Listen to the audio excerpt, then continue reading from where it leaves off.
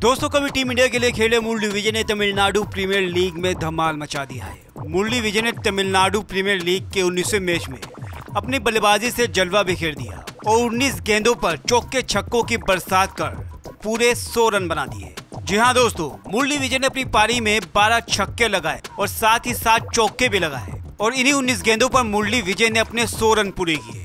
हालाँकि वो अपनी टीम को जीत नहीं दिला पाए। लेकिन मुरली विजय की इस तूफानी पारी ने फैंस का दिल जीत लिया। उन्होंने कुल छियासठ गेंदों पर 121 रनों की पारी खेली, जिसमें से उन्होंने 19 गेंदों पर ही 100 रन पूरे किए।